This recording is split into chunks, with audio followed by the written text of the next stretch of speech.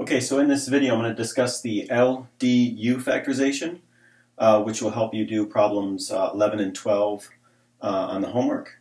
So the LDU factorization is closely related to the LU factorization. Okay, so um, the first thing we have to do is find the LU factorization.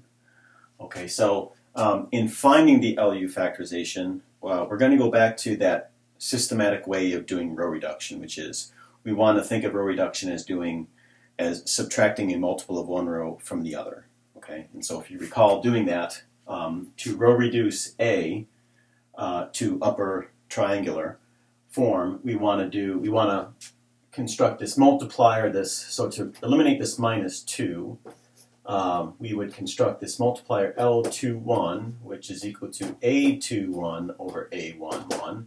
In this case, we get a minus two. Okay, and so to eliminate the minus 2 that's here, what we do is we do row 2 and then minus minus 2 of row 1 and put that in row 2. Okay, and so when we do this um, row operation to A, we get um, first row stays the same, the second row changes to 0 here, and 4 there. Now since this is a 2 by 2, um, we already have an upper triangular matrix. So this is U. I'm going to put a, a hat on this because um, we're going to get a different U for the LDU factorization. Okay, But this would actually be the U for the LU factorization.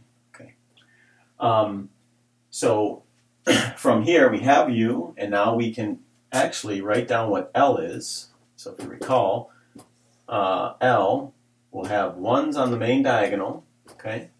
And then this L21 entry is, well, it's that multiplier from up here. So this is minus 2, okay? So LU hat is the LU factorization, okay? But LDU means we want to go a little bit further, okay? And so the reasoning behind this LDU factorization is that you notice that L is constructed by putting ones on the main diagonal. Um, well, U hat, or U in the LU factorization, doesn't necessarily have ones in the main diagonal. Okay, but the LDU forces U to have ones in the main diagonal. Okay, so we're going to transform U hat so that there are ones along the main diagonal. And to do that, all we do is we scale.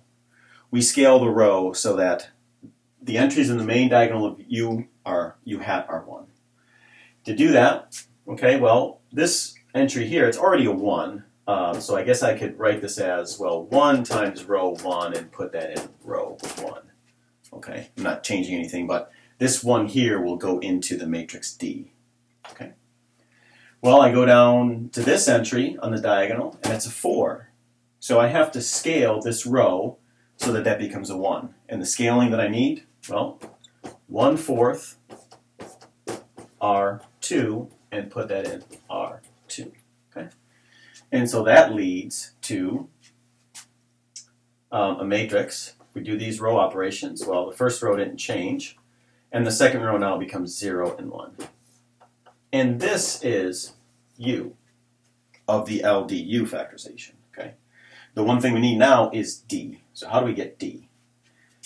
Well, D is, D stands for diagonal. It's a diagonal matrix, okay?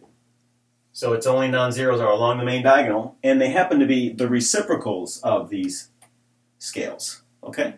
So this one here, the reciprocal of that one is 1. That goes there.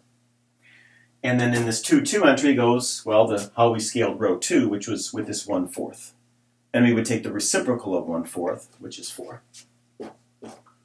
and then zeros everywhere else.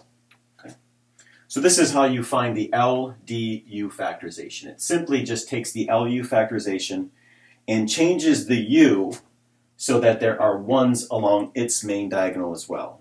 Okay, And in order to do that, there's this scaling that needs to be done. And the scaling factors, the reciprocals of those scaling factors, go into this matrix D. Okay? And so you can check, and I'll let you do that, check that LDU is equal to